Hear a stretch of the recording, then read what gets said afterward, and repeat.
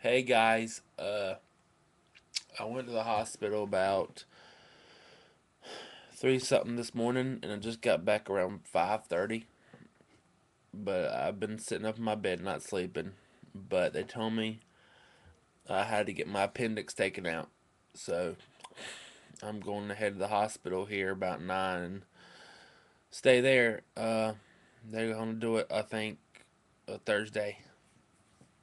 We're to take some tests to see if there's anything else wrong, important, like internal bleeding. I've been coughing up blood, so.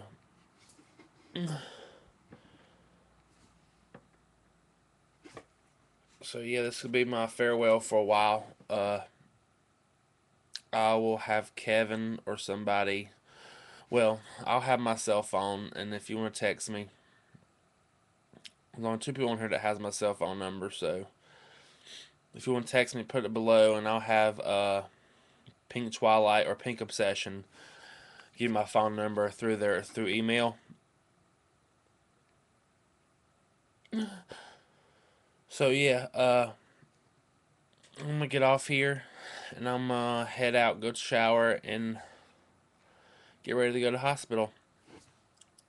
So yeah, uh. I love you guys so much, and I hope I don't lose no, lose no subscribers when I'm gone.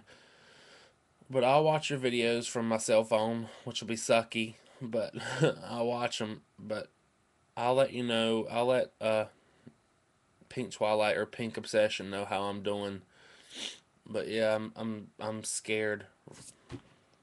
I'm scared to death right now. I only surgery I had to go through was this right here.